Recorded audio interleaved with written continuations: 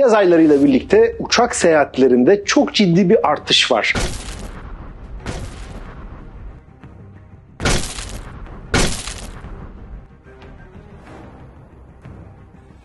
Kimi tatile gidiyor, kimi iş amaçlı, kimi de okul için uçak bileti arayışında. Ama herkesin hedefi uygun fiyata bilet bulabilmek. Özellikle Türk Hava Yolları'nın bilet fiyatları aktarma yapan şirketlere göre oldukça yüksek kalıyor.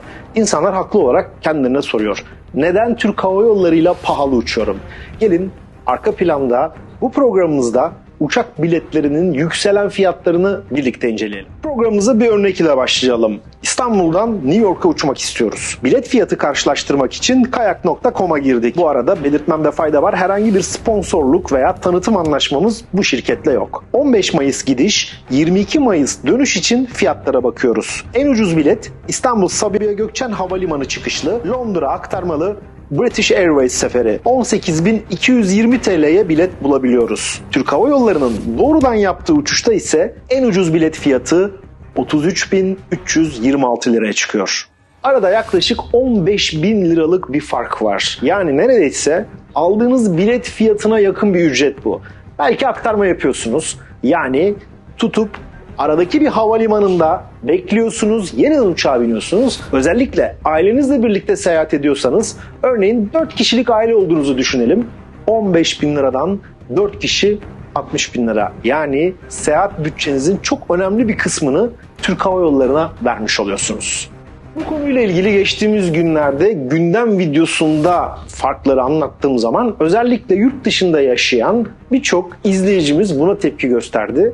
Yaz aylarında ülkelerine gelmek için gurur duydukları Türk Hava Yolları'na binmek istediklerini ama yüksek fiyatlar nedeniyle alternatif yollar denediklerini söylediler. Hatta bazıları bir aileyle birlikte seyahat etmenin yüksek maliyetine dikkat çekerek Almanya, Avusturya, Fransa gibi ülkelerden kendi araçlarıyla Türkiye'ye geldiklerine dikkat çektiler. Şimdi öncelikle tabii havacılık sektöründe bilet fiyatlarının nasıl belirlendiğine bir bakmamız gerekiyor. Çok uzun yıllardır havayolu sektöründeki bilet fiyatları maliyet artı belli bir kar marjı denkleminin dışına çıkmış durumda. Yani bir örnek verelim. Bir masa üreteceksiniz diyelim. Masa üretirken işte girdiler bellidir. Üretirsiniz. 100 lira maliyet çıkmıştır. Aranızda belli bir kar marjı vardır. Piyasadaki fiyatlara da bakarsınız. İşte %15, %20 diyelim. 115 liraya, 120 liraya satarsınız. Yani maliyet arttı kar marjıyla piyasaya sürersiniz ürününüzü. Havacılık sektöründe ise bu durum çok uzun yıllar önce ortadan kalkmış durumda. Bunun sebebi de 1980'lerin başında devreye giren gelir yönetim sistemleri. İlk olarak American Airlines tarafından uygulanmaya başlanıyor. Daha sonra sektöre kısa sürede yayılıyor ve 90'ların sonu 2000'lerin başından itibaren bunu kullanmayan tarifeli havayolu şirketi kalmamış gibi bir şey diyebiliriz. E bu neye sebep oluyor?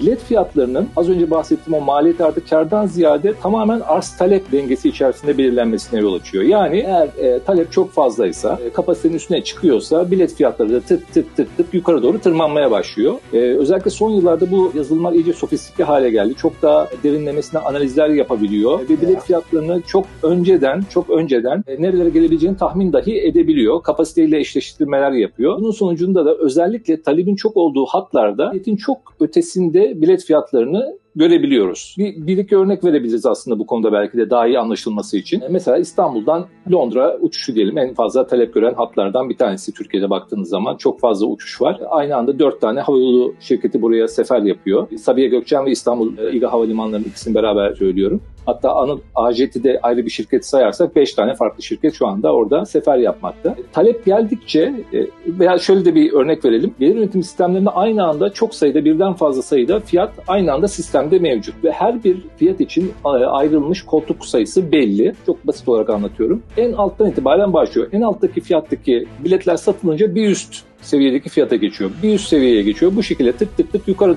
doğru gidiyor. Dolmaya yakın veya çok az yer kalmış e, uçakların bilet fiyatlarına baktığınız zaman çok çok yüksek fiyatlardan ancak bilet alabildiğinizi görüyorsunuz. Ve son yıllarda özellikle ülkemizde Türk Hava Yolları'nın ve Pegasus'un çok yoğun bir biçimde pazara hakim olmaları Türkiye çıkışlı olan bilet fiyatlarını yukarı doğru tırmanmasına yol açtı.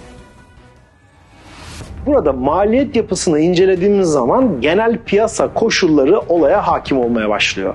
Türk Hava Yolları özellikle İstanbul Havalimanı'nda tek tabanca yani direkt uçan pek fazla rakibi yok. Bu durum özellikle iç hatlar içinde geçerli. Geçmiş yıllarda Türk Hava Yolları'nın Örneğin Atlas Global, Onur Air gibi rakipleri vardı. Bu ortaya çıkan rekabetle birlikte bilet fiyatları daha makul seviyede tutulabiliyordu. Aynı zamanda Atlas Global ve Onur Air'da yurt dışı seferleri yapıyordu. Fakat kötü yönetim, ekonomik kriz gibi durumlar nedeniyle gerek Atlas Global arkasından da Onur Air iflas etti ve Türk Hava Yolları İstanbul Havalimanı'nda tek tabanca kaldı. Sabiha Gökçen Havalimanı'na baktığımız zaman oradaki rekabet koşullarının daha yüksek olduğunu görüyoruz. Sabiha Gökçen'de Pegasus Hava Yolları ve Türk Hava Yolları'nın önce alt markası olan ve sonradan ayrı bir şirket haline gelen Anadolu Jetken Ajet adını taşıyan şirketin ciddi bir rekabeti var. İki hava yolu hem iç hatlarda hem de dış hatlarda birçok noktada rekabet ediyorlar ve fiyatlar daha makul seviyede duruyor. Türk Hava Yolları tek başına kaldığı için, rekabet olmadığı için bilet fiyatlarını yüksek yolcuya sunuyor. İstanbul Havalimanı için Türk Hava Yolları'nın karşısında az sayıda sefer yapan yabancı hava yolu şirketi var. Ancak TY'nin büyük filosu bir gün içerisinde çok fazla sefer yapması yabancı şirketlerle karşılaştırıldığı zaman TH'yi daha da avantajlı duruma geliyor. Burada da yabancı şirketler pek fazla rekabete giremiyor. Fiyatların yüksek olmasındaki ikinci önemli konu yaşadığımız salgın dönemi yani pandemi. Pandemi havayolu şirketleri açısından tarihlerinin en büyük kriziydi ve aylarca havayolu şirketleri herhangi bir sefer yapamadı. Personeline kimi maaş ödedi, kimi ödeyemedi ve dünyada birçok şirket devlet yardımlarıyla ayakta durabildi. Bu dönem içerisinde birçok şirket çok ciddi krediler aldı. Şimdi o kredilerin ödemesi gelmiş durumda. Yani pandemideki o durgunluğun maliyeti ilerleyen yıllarda işlerin açılmasıyla birlikte bizlere bilet fiyatı olarak yansıtılıyor. Salgın öncesinde örneğin 2019 yılında İstanbul'dan Avrupa'ya, Frankfurt, Londra, Paris gibi noktalara baktığımız zaman ortalama 200-300 dolar veya euro olarak uygulanan bilet fiyatı günümüzde dolar ve euro bazında neredeyse iki katına çıkmış durumda. 500-600 dolarlar ifade ediliyor ve bu durumda bilet ücretlerine pandemi sonrasında doğrudan yaklaşık iki katlık bir artış oluşturmuş durumda. Bir başka önemli faktör de ülkemizin içinde bulunduğu ekonomik durum. Özellikle döviz kurlarındaki hızlı artışla birlikte satın alma gücümüz çok düşmüş durumda. Bugün geçmişte birkaç ayda bir yurt dışına gidebilen birçok insan yurt dışına bırakın gitmeyi yurt içine bile bir yere seyahat edemiyor ve zorunluluk durumlarında ve özellikle iş veya eğitim amaçlı yurt dışına bilet almaya çalışıyor. Bir başka maliyet artışı da petrol fiyatları ile ilgili. 2008 yılında havayolu sektörü petrol fiyatları açısından zirveyi görmüştü. Bir varil petrolün fiyatı 165 dolara çıkmıştı. Daha sonra 2020 yılında yani pandeminin olduğu dönemde dibi gördü. Varil fiyatı talebin de olmaması nedeniyle 20 dolara kadar çıktı. Geçen yıl petrolün varili yaklaşık 70 dolar civarındayken 2024 için ortalama şu içinde bulunduğumuz aylarda neredeyse 88 dolara kadar çıkmış durumda. Tabii ki petrol fiyatlarındaki yükselmede biletlere artış olarak yansımakta. Salgın sırasında havayolu şirketleri tecrübeli personelini kaybetti. Bu konudaki en büyük sıkıntı özellikle teknik kısımda yaşandı. Uzun yıllardır havayolu şirketinde çalışan tecrübeli personel pandemiyle birlikte ayrılma veya erken emeklilik gibi avantajlarla birlikte sektörden çekilmeye başladı. Bugün sadece Türkiye'de değil, özellikle Avrupa'da teknik bakım konusunda çok ciddi bir insan kaynağı problemi yaşanmakta ve oradan artan maaşlarla birlikte birçok Avrupa şirketi teknik personeli kendi ülkesine çekmek üzere çalışma yapmakta. Bu durumda yükselen maliyet olarak bilet fiyatlarına etki ediyor. Geçtiğimiz aylarda Sun Express'in genel müdürü verdiği röportaj sırasında geçen yıla oranla euro bazında bakım maliyetlerinin personel odaklı %70 arttığına dikkat çekmişti. Türk Hava Yolları açısından bir başka önemli maliyet kalemi de personel ücretleri. Burada emektar, kabin memuru, teknik bakım ekipleri, pilotlar veya büro memurları, havalimanı çalışanlarını ayırmak istiyorum. Geçtiğimiz günlerde gündeme gelen maddede Türk Hava Yolları Genel Müdürü'nün brüt maaşının 1 milyon 400 bin TL olduğu haberi ortaya atıldı genel müdür veya yardımcıların maaşlarını anladık diyelim. Özellikle yurt dışındaki hava yolları seviyesine yükseldiğini kabul edelim. Ama Türk Hava Yolları'nda 41 başkan 700 bin TL, 53 başkan yardımcısı 490 bin TL, yüzlerce müdür de ortalama 350 bin TL maaş alıyor. TE'de maaşlar bir yıl içerisinde 16 brüt maaş üzerinden ödeniliyor. Yöneticilere yapılan zam oranı ise %200. Bu maliyetler bilet fiyatlarını etkiliyor. Diğer yandan örneğin kabin memurları %35 oranında maaşla başlatılıyor. Hizmet yılı arttıkça %100 maaşa doğru geçiliyor. Bu da personelin en büyük şikayetler arasında. Maliyetler konusunda hava yollarında ayrı bir kalem olarak incelemek lazım. Salgın sırasında hava yolu şirketleri gibi terminal işletmecileri de havalimanlarını çalıştıramadılar ve bu konuyla ilgili kendi sistemlerini döndürmek üzere ciddi borçlar, krediler aldılar ve sonuçta o gün alınan krediler bugün geri ödenirken bu durumda havalimanı hizmet ücretlerine yansımış durumda. Bilet fiyatlarındaki artışların nedenlerini ararken biraz da yurt dışına bakmak lazım. Özellikle havayolu şirketlerine uçak imal eden Boeing, Airbus veya motor imalatçıları bu dönem içerisinde ciddi krizlerle karşılaştılar.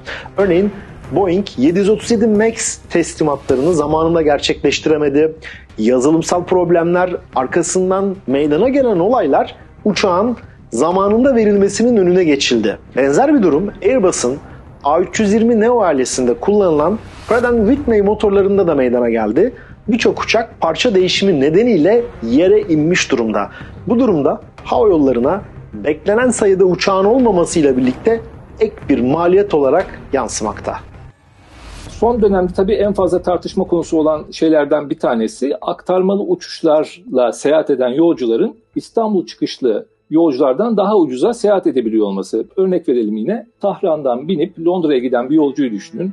İster İstanbul'da TH ile ister Pegasus'ta Sabiha Gökçen'de aktarma yapıyor olsun. Bu yolcunun ödediği fiyat İstanbul'dan direkt olarak Londra'ya giden bir yolcuyla ya aynı veya daha düşük olabiliyor. Bu herkesi e, kızdıran bir şey çünkü ben daha kısa mesafede gidiyorum. Daha ucuz bir bilet fiyatı ödemem gerekir gibi düşünülüyor ama durum öyle değil. Az önce bahsettiğim o arz talep dengesiyle ilgili bir durum ve hap taşıyıcı, hap carrier olma mantığının getirdiği bir sonuç aslında bu. Çünkü e, havayolu şirketleri birçok hat açtılar son dönemde özellikle e, Türk Hava ve Pegasus için konuşuyorum. Çok fazla hat açıldı. Bu e, uçuşları doldurabilmek için aktarmalı yolcuya ihtiyaç duyuyorlar. Dolayısıyla önce bahsettiğim o gelir yönetim sistemleri sayesinde birçok farklı noktadan İstanbul aktarma olarak yine Londra örneğinden gidelim. Londra uçuşuna yolcu toplamayı seçiyorlar. Tabii siz direkt uçuş olarak düşündüğünüz zaman İstanbul-Londra hattında mesela neredeyse tekele yakın bir şey var veya oligopol diyelim. Çok az sayıda havayolu şirketinin oluşturduğu bir pazar var. Oradaki siz fiyatı daha yukarı çekebiliyorsunuz. Ancak aktarmalı yolcuyu cezbetmek için siz çok daha fazla bir geniş bir coğrafyadaki rekabetle mücadele etmek zorundasınız. Çünkü aktarmalı seyahat edecek bir yolcunun önünde onlarca farklı seçenek olabiliyor. Mesela Orta Doğu'dan veya Afrika'dan veya Orta Asya'dan, Uzak Doğu'dan gelip bu şekilde aktarmalı olarak farklı bir noktaya gidecek yolcu için belki de aynı anda 10-15 tane farklı havayolu şirketi onlarca uçuşu size sunabiliyor. Böyle olunca rekabet artıyor ve fiyatlar aktarmalı yolcular için konuşuyorum daha cazip hale geliyor. Aslında ben son dönemde bu, konuda bayağı şikayet alıyorum arkadaşlarımdan da tanıdıklardan da aynı şeyi söylüyorum onlara da. Mesela siz de buradan bir yere gideceğiniz zaman sadece direkt uçuşlara değil aktarmalı uçuşlara da bakın diyorum. Mesela işte e, uzak doğuya gidecek olan yolcular için sadece buradan direkt olarak sefer yapan şirketlerin yanı sıra Orta Doğu'daki Emirates gibi, Etihad gibi, Qatar Airways gibi şirketleri de alternatif olarak listeye ekleyip onların uçuşlarına da bakmalarını tavsiye ediyorum. Biraz da yolcu açısından bakalım. Birçok yolcu özel hava yolu yolcu sistemlerinin üyesi, sadakat programlarının üyesi.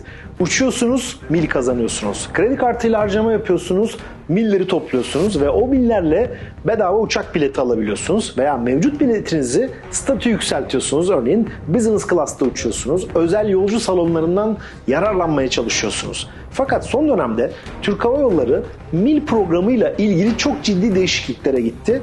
Artık eskisi gibi alışverişlerden yüksek miller kazanmak, uçtukça çok fazla mil kazanıp onları bilete çevirmek pek mümkün değil.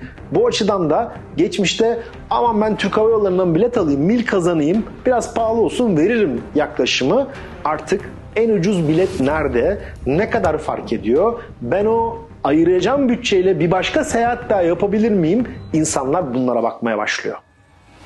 Evet sonuç olarak Türk Hava Yolları ülkemiz için çok çok önemli bir marka. Kırmızı kuyruğu dünyada farklı havalimanlarında gördüğümüz zaman gurur duyuyoruz. Başarılarını keyifle okuyoruz, takip ediyoruz. Ama Türkiye Cumhuriyeti vatandaşı olarak soruyoruz. Neden Türk Hava Yolları ile uçarken bu kadar yüksek bilet ücretleri ödüyoruz?